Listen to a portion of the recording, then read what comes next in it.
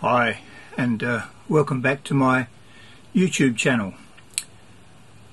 I'm going to be tackling a subject today which is a universal subject, and that is the power of prayer.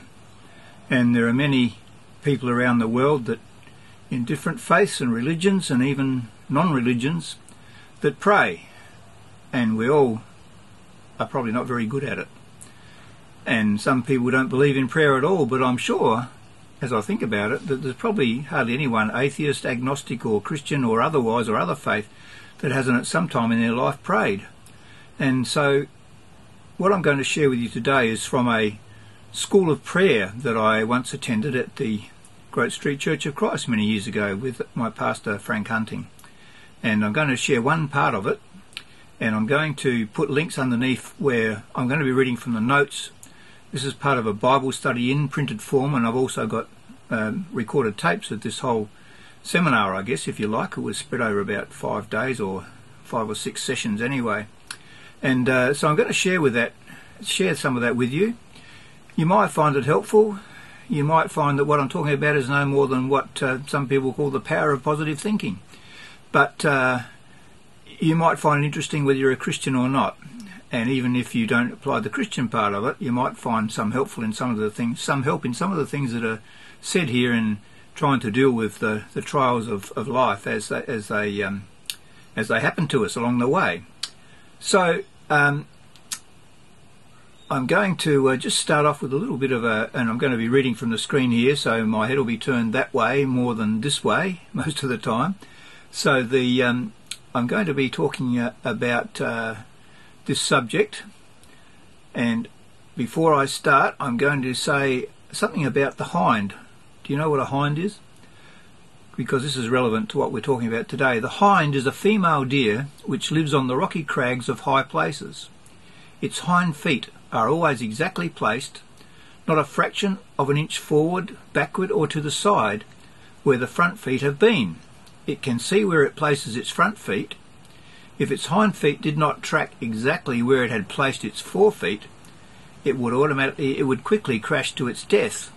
In fact, the uh, the animal um, can do that automatically. It's programmed that way so that its hind feet of the hind actually land exactly as they're going down the, the precipice or even going up. Their feet track together, and that's why they can maintain their balance. So I first met Frank when, as I said, it was at a school of prayer he conducted, and this study was part of it.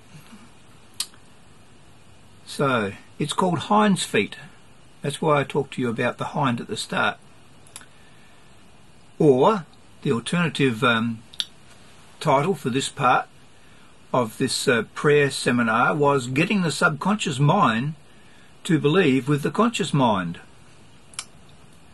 This talk deals with reasons why we find it so hard, and there'll be in the, the notes down, you'll be able to read all this on my blog. I put this up years ago on my blog, so you'll be able to read all of this uh, as I've appended it below um, when you go to the uh, link to my blog on the same subject many years ago, which is what I'm reading from at the moment.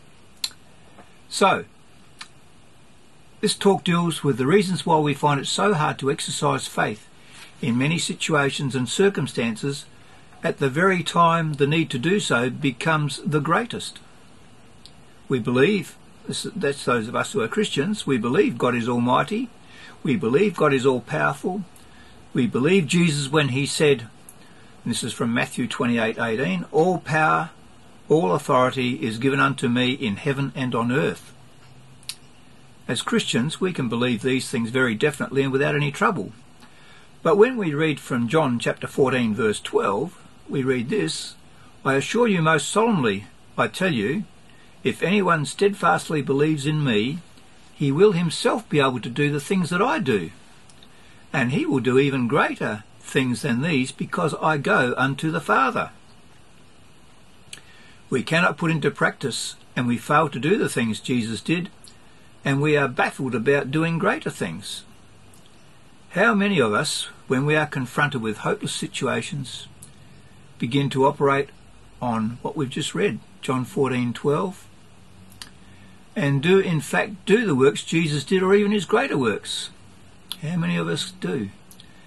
This study is to deal with the trouble, the factor that causes us to be unable to believe when we are confronted with some hopeless or impossible situation. The next heading, the reason why we can't believe. The reason why we can believe with the conscious mind God is Almighty, but we are negative and defeated and paralysed when confronted with an impossible or hopeless situation is because our subconscious mind is not tracking with our conscious mind. Our subconscious mind doesn't believe God can work in that situation, that God can change these people, control their circumstances, or heal that sickness. The subconscious mind is a modern psychological term. Jesus often spoke of it, but he used another term. He included the subconscious mind when he sometimes used the term heart. Here's a few examples. This is from Matthew 12, 34 to 37. And it's Jesus speaking in all these quotes. You brood of snakes, you have to look it up to see who the brood of snakes were. How could evil men like you speak what is good and right? For a man's heart determines his speech, and a good man's speech reveals the rich treasures within him. An evil hearted man is filled with venom, and his speech revi- reveals it. And I tell you this, that you must give account on Judgment Day for every idle word you speak.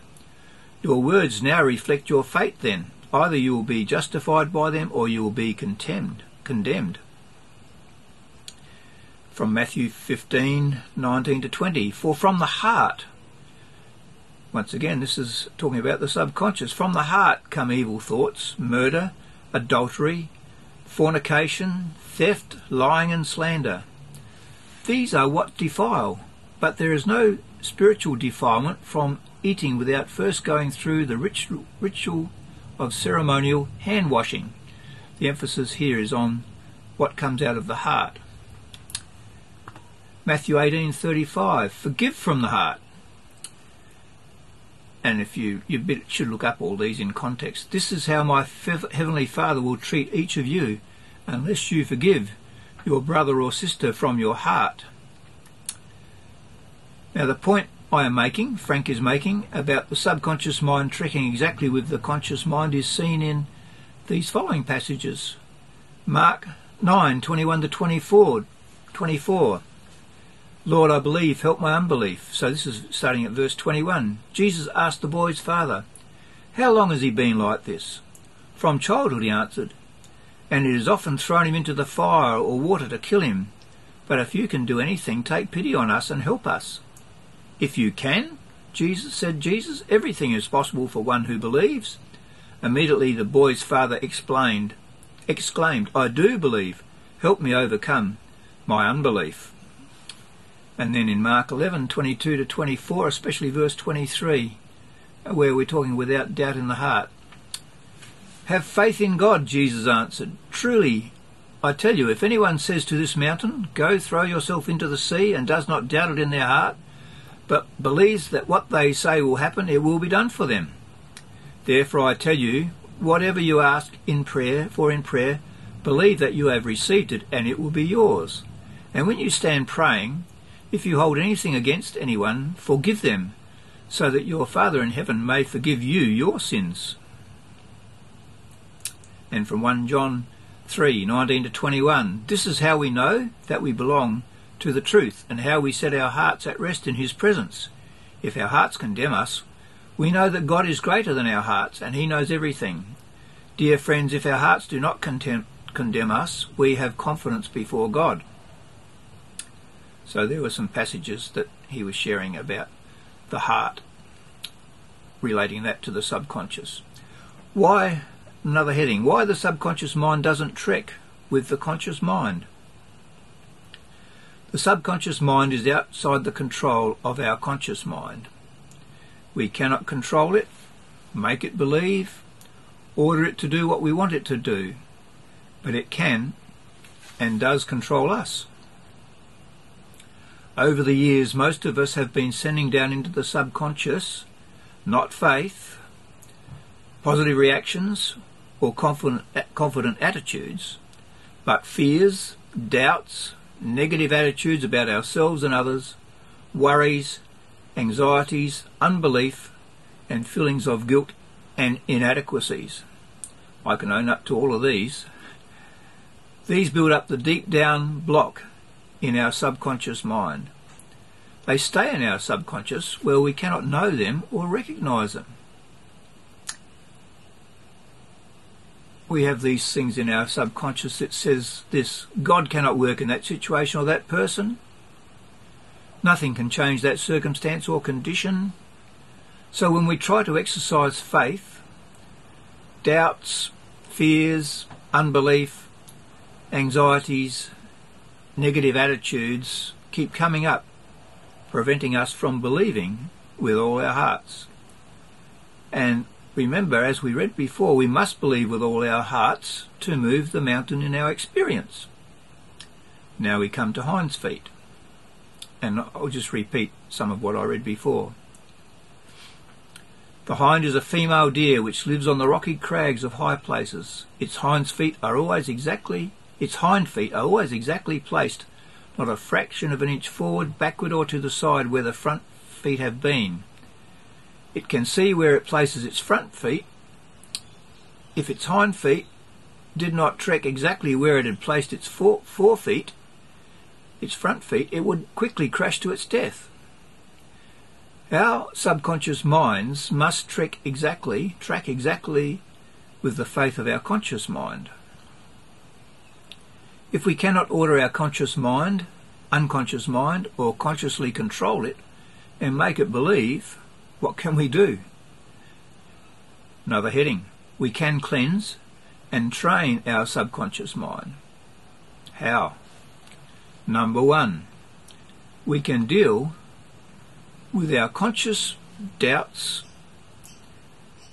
fears, worries, anxieties, guilt, by admitting to them, listing them, and taking them to Jesus. Number two, we can welcome the doubts, the fears, the worries, the guilt. The subconscious floats up into the conscious mind in the twilight of consciousness, such as when we are waking up or are half asleep in the night. And instead of pushing them back into the unconscious, we can fasten onto them and give them to Jesus. Just as an aside, sometimes in the middle of the night, if I'm troubled, I will play some scripture, and uh, which is in effect replacing all the troubled things I'm having in my dreams or in my thoughts with the positive things that I'm hearing from the Bible. So instead of pushing those things back into the unconscious, we can fasten onto them and give them to Jesus. We can take Jesus down memory lane into all of the rooms of our various experiences and years we have lived through and let him take down from our walls of our memory rooms the unhappy memories of or happenings of the past and replace them with his own lovely pictures. Frank says this is best done with someone who knows what to do and takes us into each room of our lives. And I know that Frank did some of this in his counselling. He had a long counselling ministry with people uh, over many years, and I was one of his recipients of his counselling. Not along those lines exactly. So, number four, these are the things that we can do.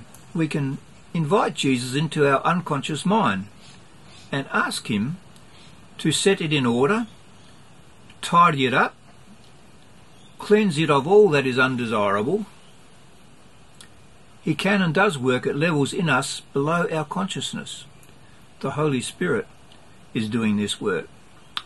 Number five, we can deliberately and as constantly as we should feed great thoughts of faith, positive attitudes, confident reactions into our minds to be passed on down into the subconscious. How do they get from the conscious to the subconscious? That's a good one, isn't it? Number six, we could we should constantly stretch the mind to take in all of God. Let us challenge let us challenge situations that are too big for us by taking the trouble to see how much bigger God is than the situation we think impossible. Now, a lot of people just dismiss the idea of God at all, but I'm talking to those who don't dismiss that. Another heading, very important. In these studies, it is very easy to get overwhelmed and say, I can never do all that. It is far, far too much for me. I've said that many times, eh, but I still keep plugging away. You have been learning what you will do to take into various quiet times. A quiet time for a Christian is that morning, in the morning or the evening, when you spend some time with God in prayer and reading the scripture and listening to God. So you have been learning what you will take into various quiet times, and over months, yes, and over years, you will work out what you need to do. In 1 Corinthians chapter 13 verse 12 in the Moffatt translation, that's another translation of the New Testament or the Bible that you might not have heard of, Paul says this, I am learning bit by bit. That is how you will learn. You are determined to make John 14:12 real in your experience. You are not going to live defeated, lackluster and lack power prayer lives. So you'll work away steadily over weeks and months. Letting God train you, letting Him make you the person He can really use. And I should add, He can set you free from the many hang ups that you may have.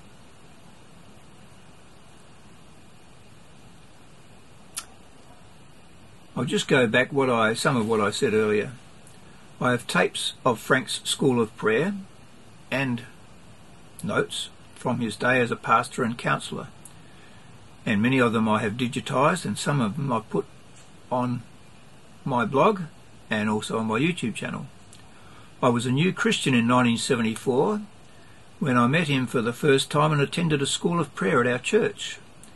Over the years, the many things he taught, including this subject, I have seen to be more and more important to the Christian for the Christian to grasp. We don't automatically become new creations at our new birth. Although many people believe we become a new creation, but we do have the resource within to allow God to deal what's, with what's below. As Frank has outlined above, so that our predispositions and personality defects can be transformed if we walk in the light we can become new creations. It's a process. Our salvation is a process. I was saved, I am saved, I am being saved.